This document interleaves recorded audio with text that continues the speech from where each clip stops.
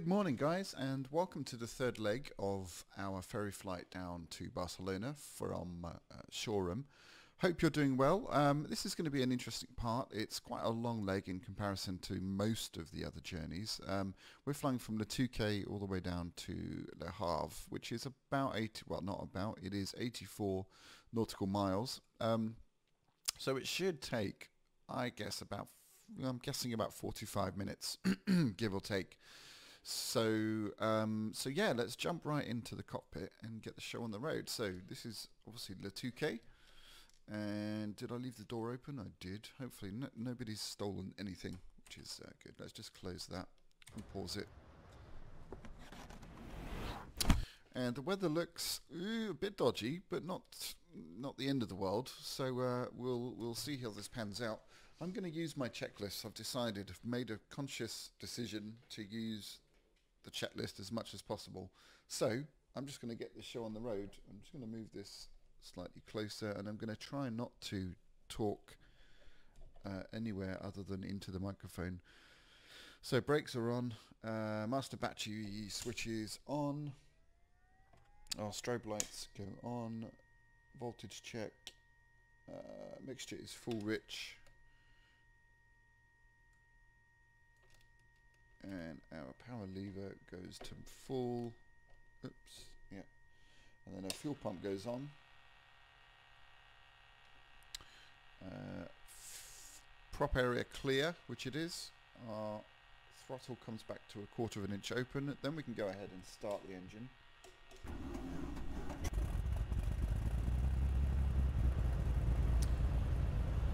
Power lever back to a thousand RPM.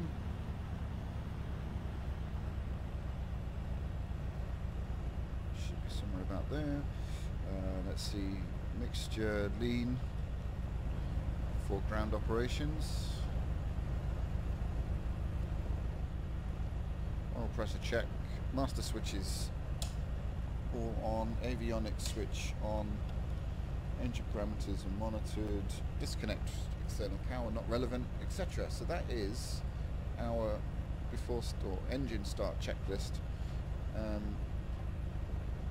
our before taxi checklist is flaps up, cabin heat on defrost. We won't worry about that right now. Um, fuel selector is on the left tank, that's completely fine. Uh, radio set, that's not relevant to us. Um, turn coordinator check, yeah, that's all good. So, we are ready to taxi out. I'm going to set up the autopilot. We're going to climb out to about, not about, we're going to go to 10,000 feet because I really want to get above this cloud. And I'm going to set a vertical speed of 1400 and then we'll just put it on our heading select for when we uh, are ready to taxi. So taxi lights on um, and we'll taxi on out for the runway.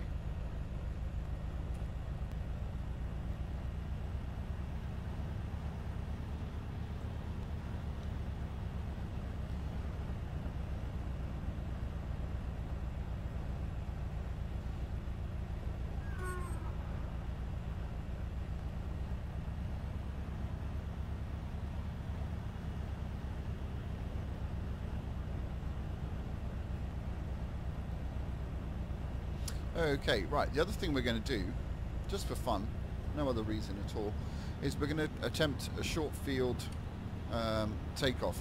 And all that really means is that instead of, um, this thing will take off without any flaps in most conditions. In fact, that's normal takeoff procedure.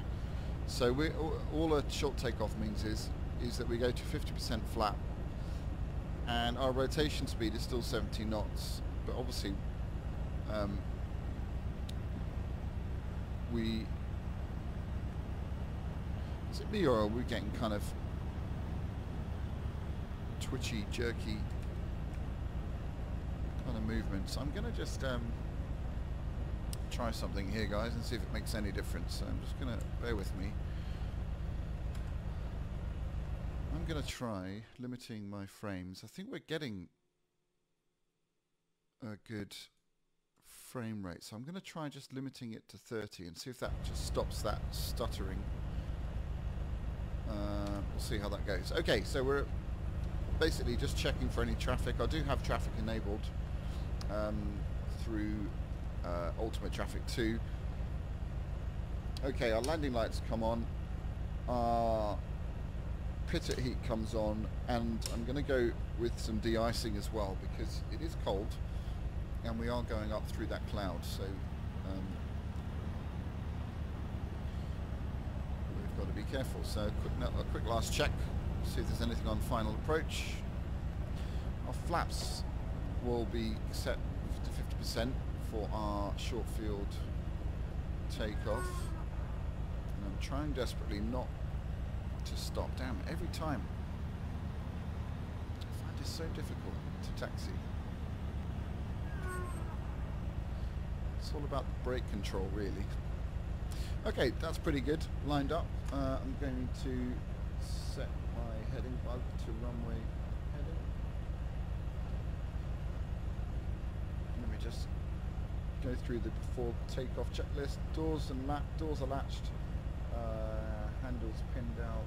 Uh, safety box and harnesses secure. Fuel quantity confirmed, which we have. Fuel pump to low, low boost. Mixture needs to go to full rich, which I would have forgotten about. 50% flaps and checked, which they are. Transponder is set, it's not relevant. Autopilot is set up, as are the navigation, radios, etc. Cabin heat on defrost, brakes hold. Um, blah, blah, blah. Okay, so alternator. So the pitot heat is on, nav lights are on, um, landing light is on, annunci annunciator lights, uh, cabin lights as required.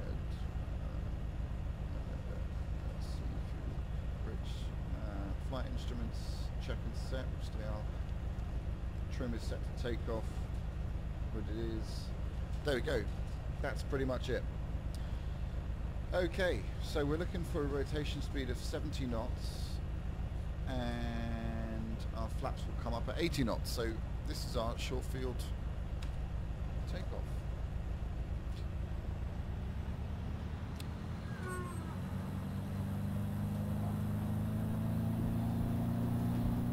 Okay, that's my dog Luna going slightly mental. Airspeed is alive. 70 knots. Oh, we're pushing it fine. Oh dear. A little bit dodgy. Okay, rotate. Whoops. And flaps up. Yeah, okay. So, I didn't uh, give us the most stress-free takeoff there. Never mind. Okay. So we'll climb out to a thousand and as we do that we'll turn onto our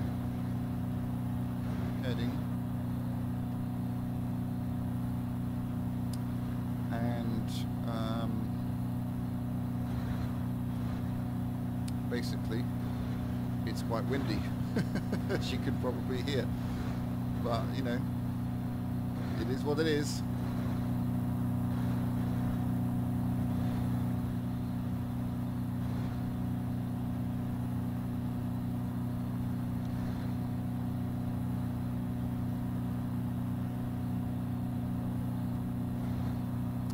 So most of this journey is across sea, hence why we're going up to 10,000 feet in this.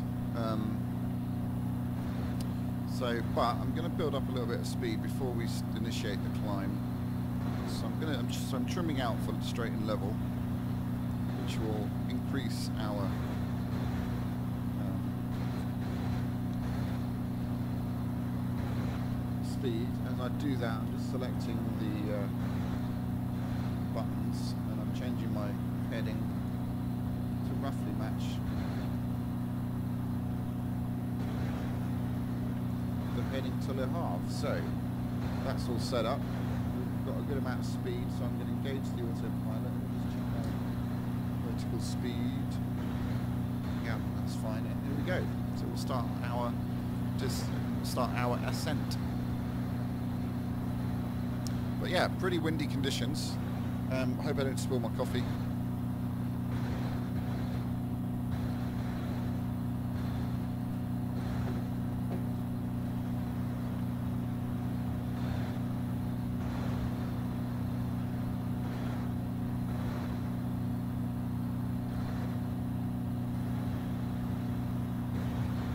Okay, so our fuel pump comes off once we reach cruise altitude.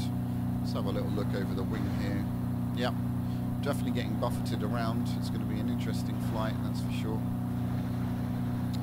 Obviously, when you're passing any or, flying over any long stretches of water, you want to go as high as you can, as long as it's safe, so that you know if the if if I was going to say if the inevitable happens, but it very rarely happens. If you do have any engine problems, then um, then you, you, you got uh, you've got room to play with. You've got enough time to uh, assess the situation. And wowzers, we really are getting thrown about. I'm starting to. Okay, well we're, we're going we're going into the cloud.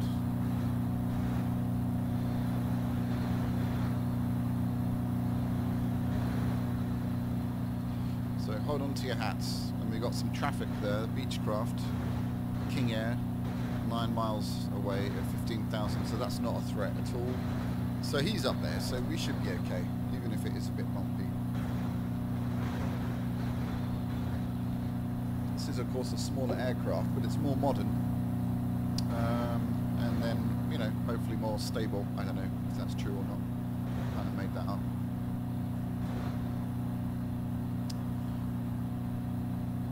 So we just kind of sit this weather out and hope that it's clearer and calmer up there.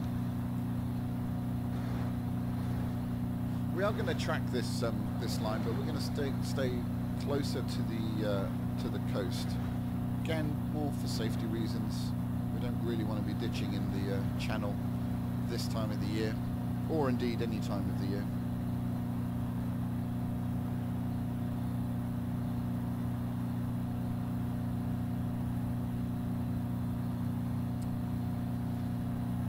Okay, seems down a little bit. Now we're going to need to put oxygen on, so I might just start pressurizing the cabin now. So we're going up to 10,000, which is significant. Ideally you would uh, turn the heat on, but it's too loud for us, so we'll assume the cabin is nice and uh, cozy. I think if we didn't have any heat on, the reality would be slightly different, but that's okay.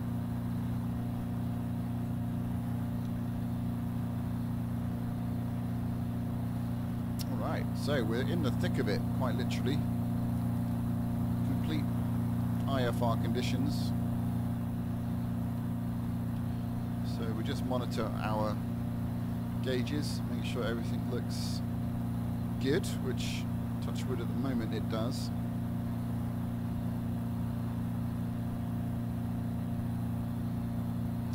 Now I'm going to lean, start to lean out the engine. I'm going to have to come over here to do it. I Don't know why I haven't set up my. Uh,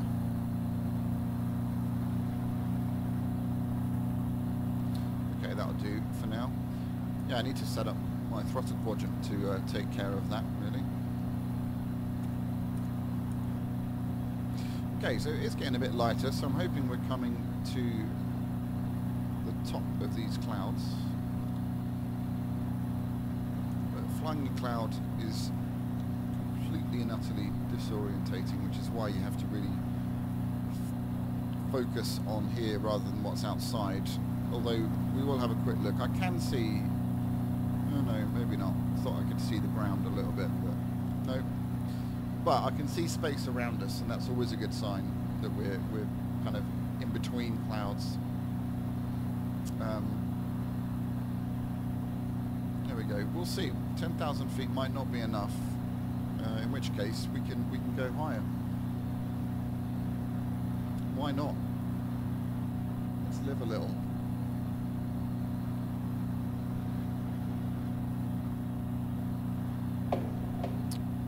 So when we get up to cruise altitude, I'm going to talk about, um, you know, the stuff that I've got that makes this setup work, basically.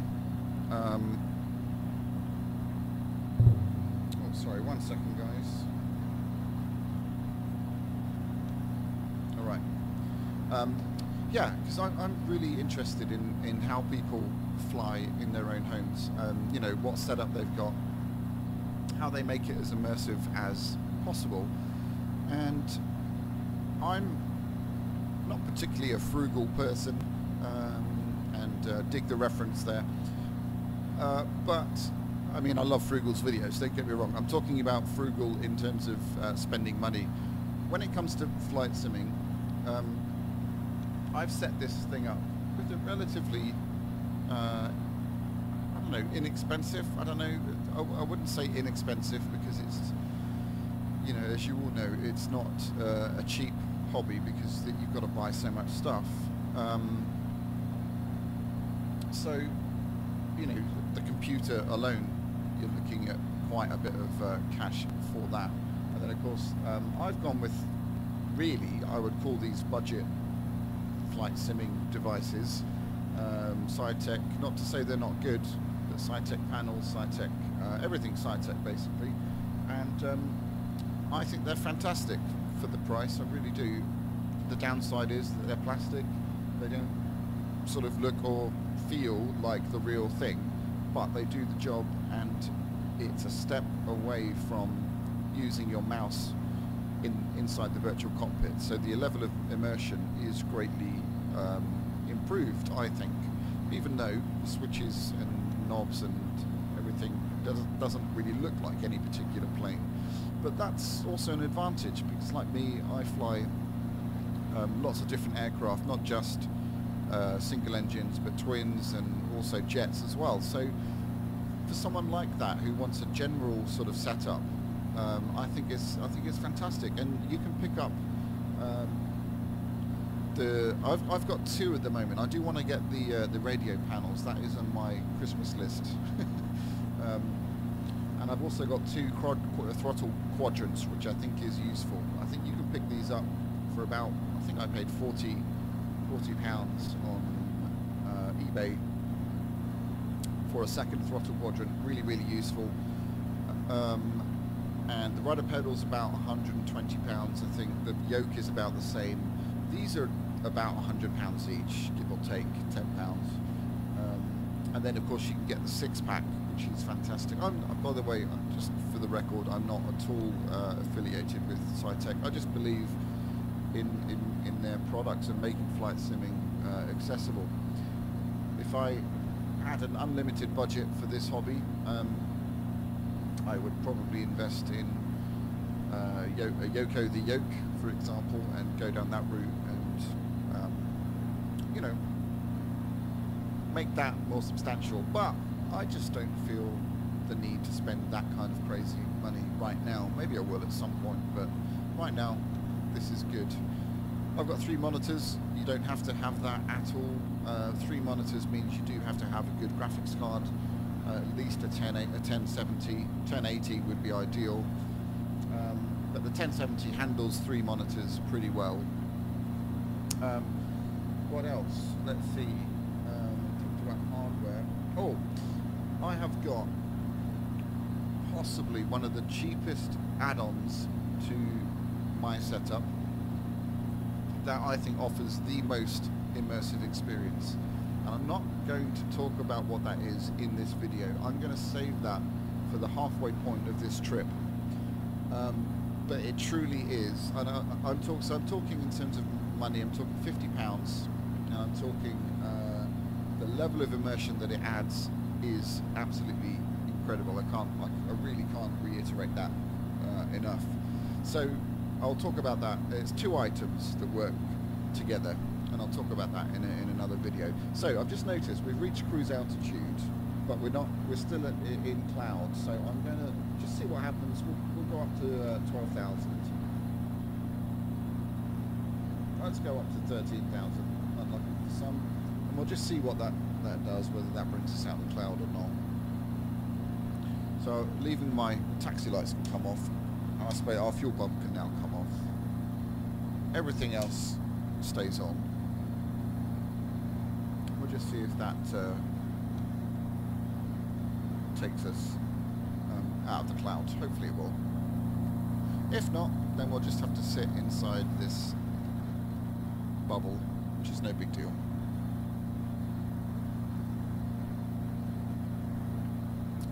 So yeah, just just continuing on our little chat. Hardware is of course only one um, aspect. There we go. We think we're breaking the top now. Um, you've got the software, you've got all the scenery, you've got all the aircraft. Um, it adds up, let me tell you. I, I dread to think how much I've spent on software alone. But again, you know, it's if you want that immersive experience, you, you've got to do what you've got to do. Um, highly recommend ORBX scenery. Really do. It is harsh on frames, um, especially for some reason the UK uh, England scenery seems to be pretty, for some reason, really tough on my system. So I've actually disabled that. I actually I love the way it looks, but it just gives me ridiculous frames. You know, sometimes single figures, even with this PC. So um, so yeah, I avoid that And here we are, poking through the top of some rather beautiful clouds. Stunning, stunning, stunning. Highly recommend Active Sky Next with Cloud Art. This is the result. Absolutely gorgeous. And I think incredibly realistic, especially when you uh, come through them. I'm not, I'm not too sure about some of the cloud effects, the sort of bubbling of the uh, cloud. I, I'm not sure they've got that quite right, but it's, it's a step in the right direction. It really is. Really, really good stuff.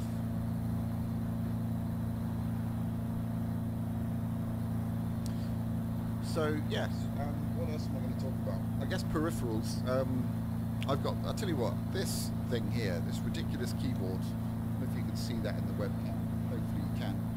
This is made by uh. Slightly bizarre name. It's a fully mechanical keyboard, and it is less than fifty pounds, and it does all sorts of crazy lights. Uh, if you're interested in that kind of thing, I'm not particularly, but you know, it's quite fun. Um, oh, that's what I'm talking about. There we go. Cloud effects on the windshield. Not sure that works particularly well. But anyway. Um, yeah, I think actually this was less than £40, I believe. I, I've only just got it. I should remember how much it is. 38, 39, something like that. But if you're in the market for a mechanical keyboard, highly, highly recommend it. I think it looks really cool. It's kind of like a brushed copper sort of effect. It feels fantastic.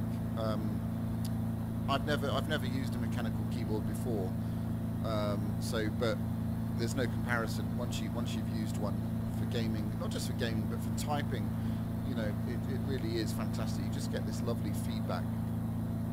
I've also got this um, gaming mouse. Again, really really budget stuff. It's by a company called uh, TeckNet, and this was less than 20 pounds and superb. Again, the mouse that I had before was bog standard, you know, I had a bottom of the range, or not quite bottom of the range, but you know, standard range, let's say Logitech keyboard and mouse set. So this is, you know, really, really going up a level and not breaking the bank at all. Simple little things like this, which is just a, an iPhone or a phone stand. But if you've got checklists, it's really handy stuff. Four pounds, I think. Amazon looks quite nice. Been been made really well, etc. You know, it's the little things that really do uh, make a difference. I honestly can't wait to share uh, this um, fifty pound add-on, hardware add-on uh, that is really, really incredibly immersive. I, I'm not using it right now, um, but I will when when we uh, do that video, that halfway point, and we'll, we'll, we'll check out which flight that is going to be. It's going to be six or seven, flight six or seven, wherever that will take us. We'll, we'll, we'll check out at the end. Um, okay, I'm going to lean out a little bit more, just to give us a bit more power. Then I'm going to come back off the throttle. I've been yakking away and uh, forgotten to take care of things. So this that's kind of my that's as far as my fuel management goes. um, but it really does matter when you're when you're ferry flying. Look at that, absolutely Stunning.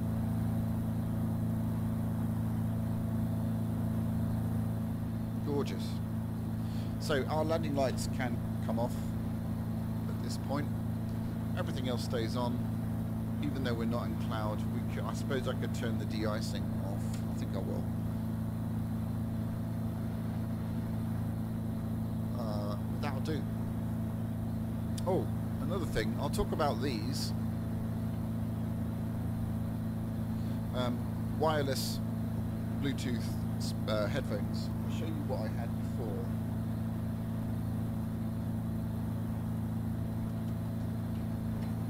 Um, these things here, these are really great. I, I the only reason for getting um, these was because I wanted um, wireless.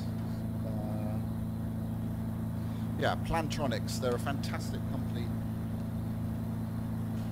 They make really, really good um, headphones uh, from the budget sort of range way up there to, you know, three, four hundred pounds. Maybe not that much, but certainly three hundred. Um, but again, I just want to share these with you because I got these are. Let me just check. Eon Fine. I've never heard of them, but I got them from Amazon. Um, they are noise cancelling. They are the most incredible sound. Um, and I have had some Bose headphones, uh, top of the range Bose in the past. I broke them. Um, uh, and they are, I have to say, comparable to to the Bose. They really, really are. I'm not just saying that. These were 60 pounds, and like I said, they've got noise cancelling. The range on them is pretty good. They are really comfortable. So again, you're in the market for some, um, you know, again, budget Bluetooth uh, headphones, highly, highly, highly recommend these. The sound is second to none. Um, I was amazed for that price range. I really was. Uh, I did have to buy a Bluetooth um, dongle for my PC as this doesn't have Bluetooth, but again, that was eight pounds or something. Uh, but it works like an absolute charm.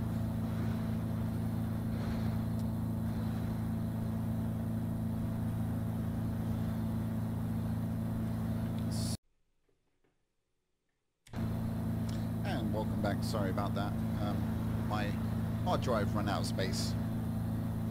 Um, it happens. So, I can't remember what I was saying, but uh, oh, I'm still harping on about these amazing headphones. But honestly, they really are, really are good. Um, so I guess what I'm saying, you know this already, but you don't have to buy top of the range stuff in order to get similar and sometimes better performance. You know, um, so it's well worth doing your research. I spend a lot if I'm buying something. I spend a lot of time on YouTube checking out reviews, a lot of time on Amazon. It doesn't necessarily mean I buy it from Amazon, but I check um, reviews and, you know, just make sure that A, I definitely need it, B, that the quality is going to serve what I need it for, and it's built to last, etc. You know, sometimes I buy stuff not because I don't not because I don't need it, but because I want it.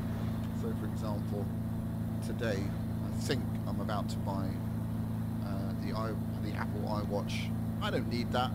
Really don't. I've got an Apple. I've got an iPhone 6 Plus. I don't need that at all. But I kind of want it, and I don't know why. They look cool. Look at that. That looks stunning. Speaking of looking cool, gorgeous. So yeah, okay, we've got a bit of traffic ahead at 7,000. Cherokee. How is a Cherokee?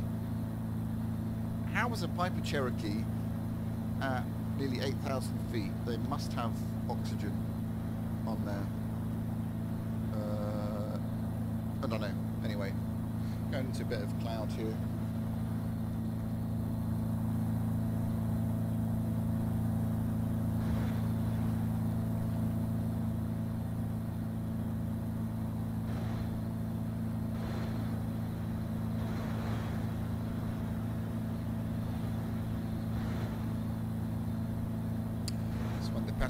Back start to get a bit nervous, getting blown around. It's perfectly fine, folks. Nothing to worry about.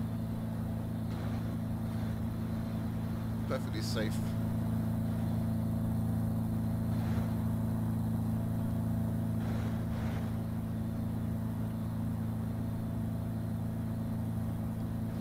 Can't imagine what what they're feeling in that Cherokee. Up to 8,000 feet now.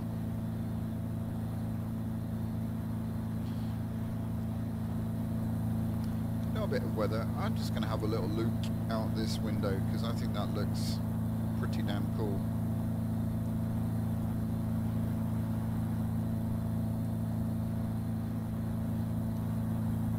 Nice. Let's just, should we get in the back? Let's have a go in the back, shall we? That is what our passengers are looking at. Nice.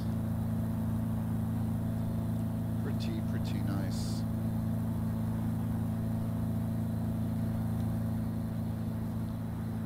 And the back of my head.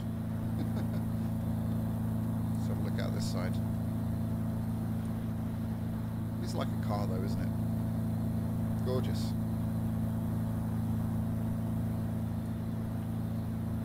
This would definitely be a, a Porsche 911. I mentioned that in the last video. If it was a car.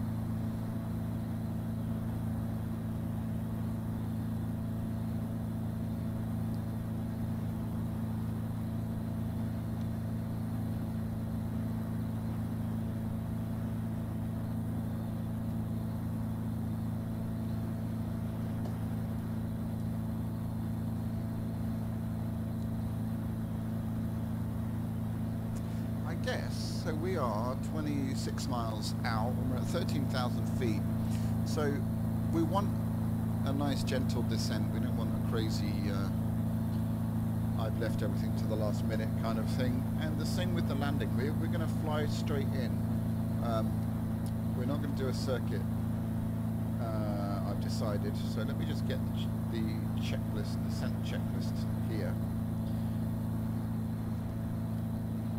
Um, so we'll go through this. We'll start our descent now, I think. So altimeter set, um, cabin heat defrost, landing light goes on, fuel system checked, power as required, mixture as required, brake pressure check, oxygen as required. Uh, okay, all done, all fine. I'm not going to do a rapid descent, which is the checklist after that. So we're going to ease back on the power down to about 30%, or take. We're just going to let that speed come down before we start our descent. And get this ready here. So we're going to go down to 4,000 feet. Well, we'll go down to 3,600 feet and set our vertical speed at 1200. So we've started our descent down into Le Havre.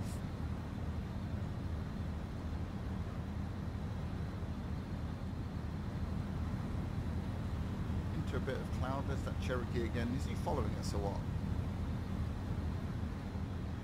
So this might well get a bit bumpy. So seatbelt signs on.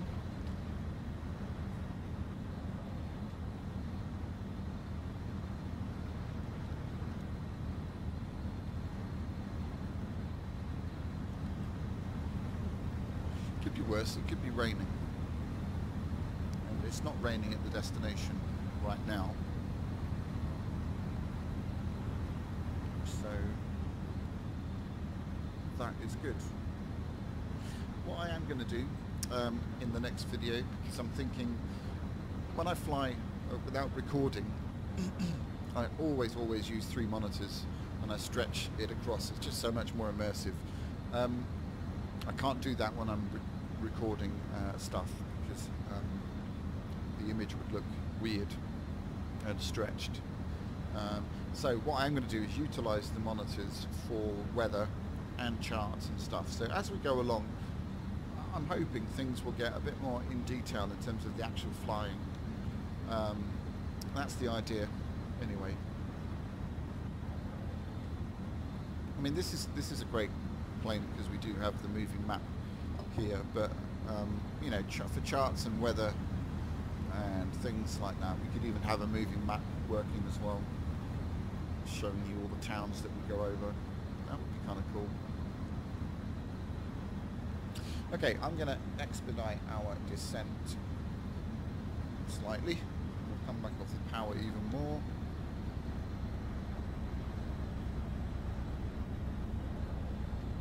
And as we're doing that, checking my before landing checklist. So seatbelts and harness is secured, fuel pump to low boost, fuel selector we go to the fullest tank, mixture goes to full rich.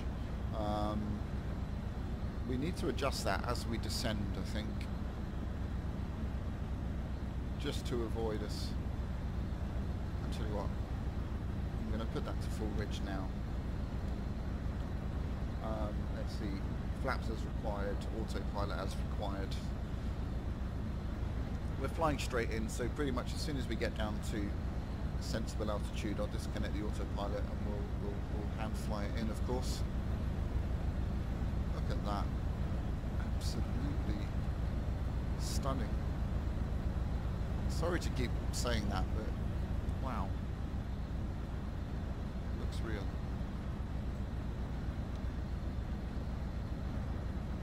Okay, so descending down nicely. We're gonna, we're gonna cut the not cut the engine, but I'm gonna turn the power completely to idle.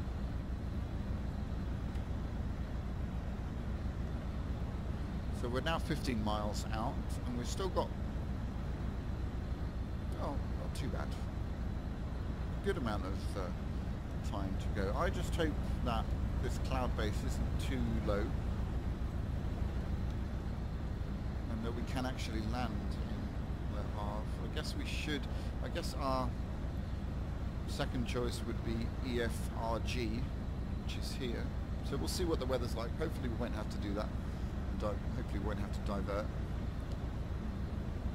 I think we should be okay. I'm gonna change our altitude now down to 1800.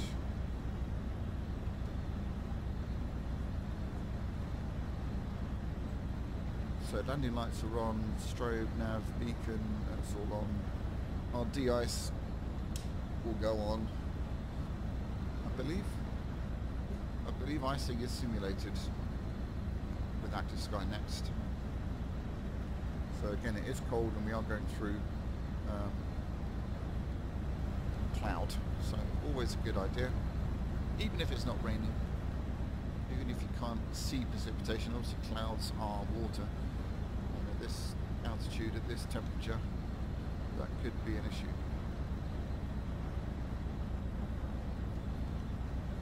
Okay, I'm gonna just speed up our descent. Still, still within comfortable range, 22.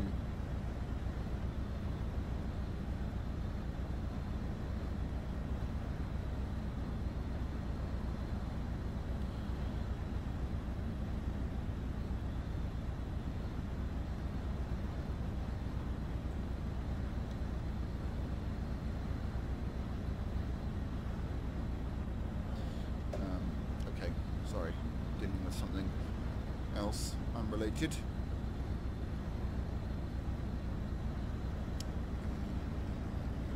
Just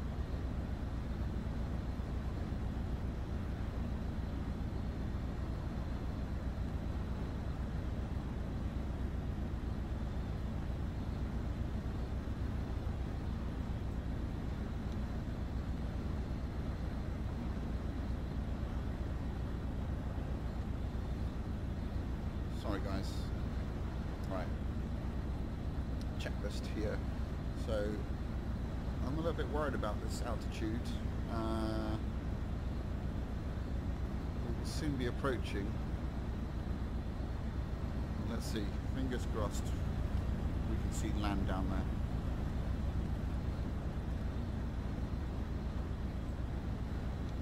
Oh dear. Let's go down to 1400. That, oh, thank the Lord. That pretty close. that is a beautiful sight. It really is.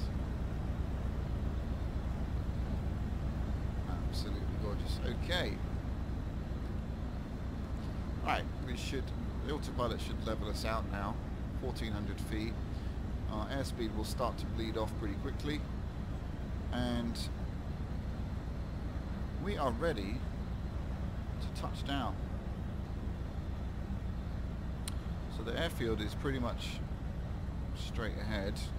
Quite straight ahead. We're going to hand fly. Oops. Now. Damn, it really is quite windy. So trimming out, trying to stabilize. Should have perhaps checked trim settings and all that good stuff before disconnecting the autopilot. There we are.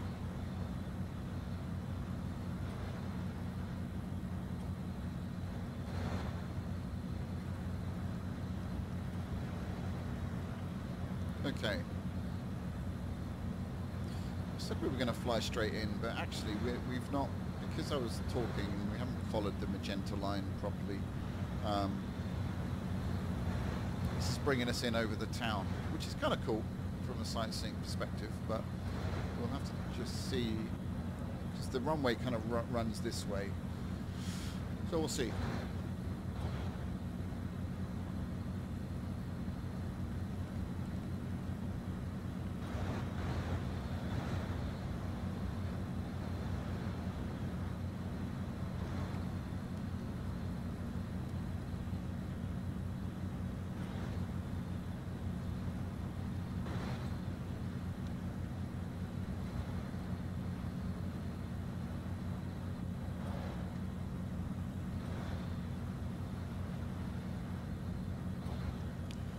trying to maintain the altitude, 1400. So.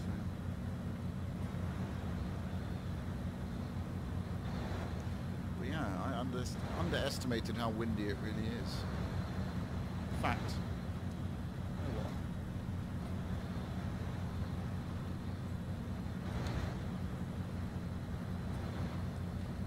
Just gonna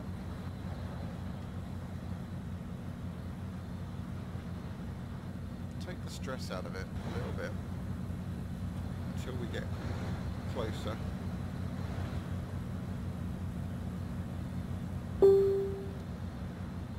About that. Notifications and things going off.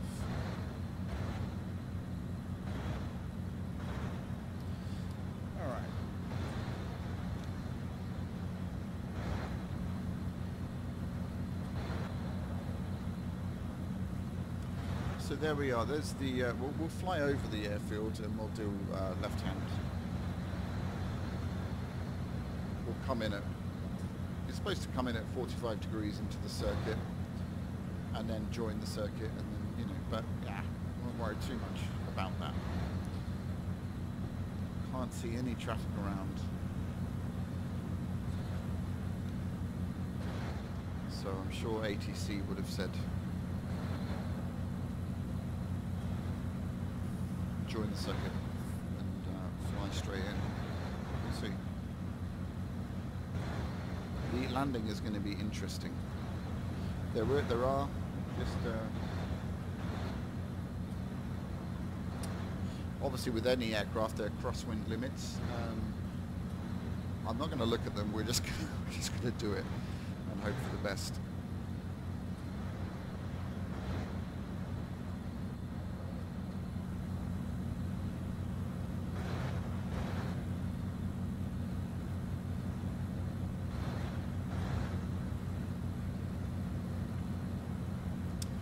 So you would call the tower at this point, obviously say we're overhead intentions to land.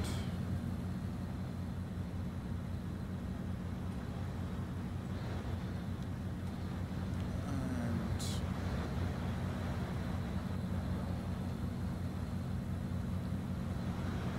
start our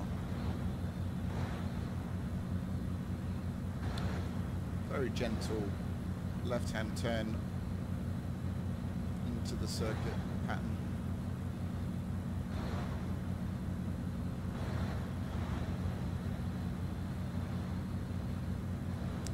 That's kind of nice. I like that. The view. Let me turn the frames off. For me, when I'm landing, I, all distractions are potential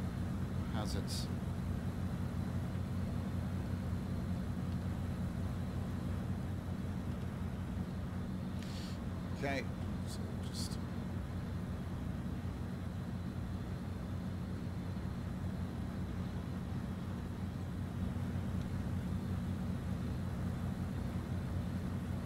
maybe gone a bit too far, but that's okay. We'll, we'll figure it out.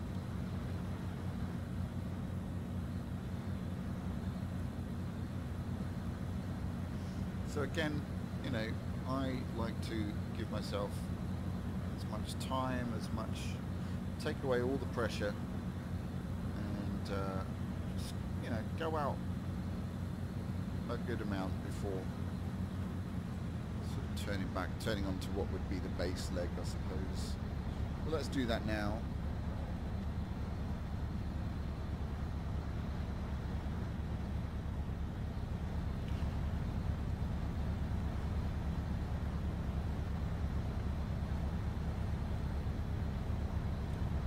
Should be.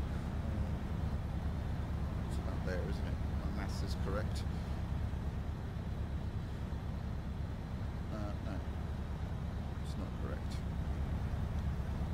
But anyway, more or less. Right, so we'll go one stage of flap.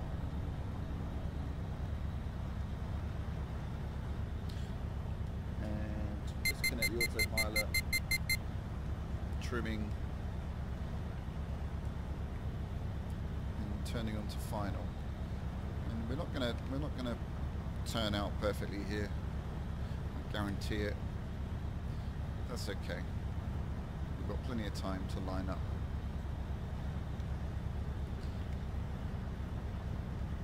And this aircraft is very nimble indeed.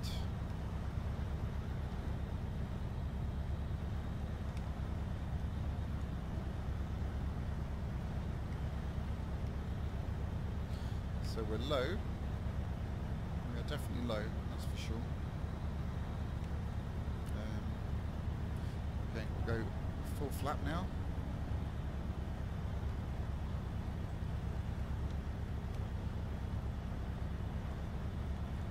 Just increasing the power a bit. Need to get on that glide slope.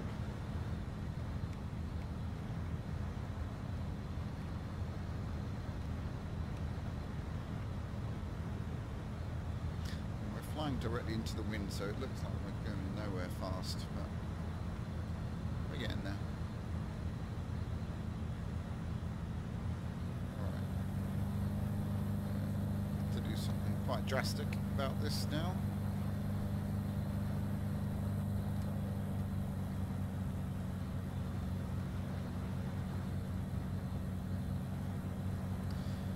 Okay. Not an easy landing at all. Not even down yet. So landing lights, seatbelts, harnesses, just a quick very last check. Fuel pump goes on. We're way too high. Scary stuff. Virtually at full left rudder. So we're crabbing in like a, a crab, really.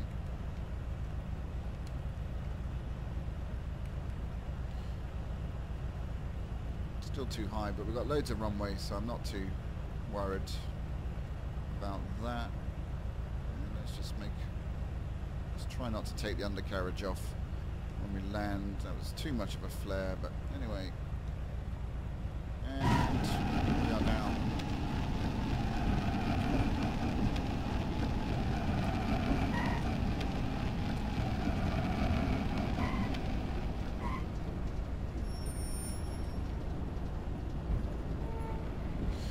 Okay. All right, clean up. Taxi lights go on. Landing lights go off. Bit of a dodgy landing. I think perhaps that we exceeded the Might be wrong. I think we might have exceeded the uh, crosswind component of the aircraft because that was pretty... Uh, I, I tried to kick the rudder out at the very last minute and it just didn't do anything. So I think that means that the winds were gusting too much for the aircraft to handle. I don't know. I'll look into that.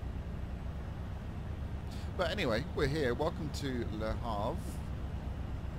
And uh, it's a really nice spot right next to the control tower. So I think we'll park there.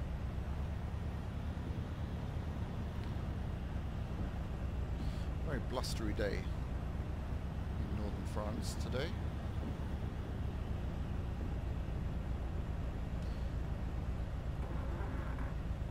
Don't know if you noticed the, uh, kind of jerkiness on final.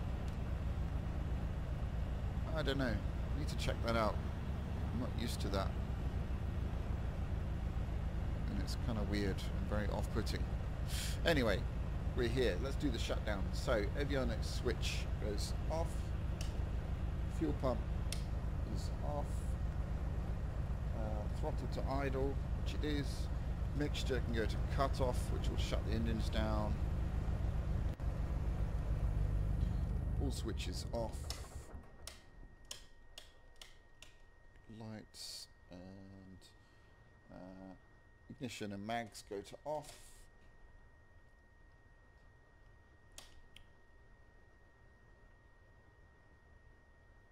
Parking brake set. Should have done that before. Master battery switch off.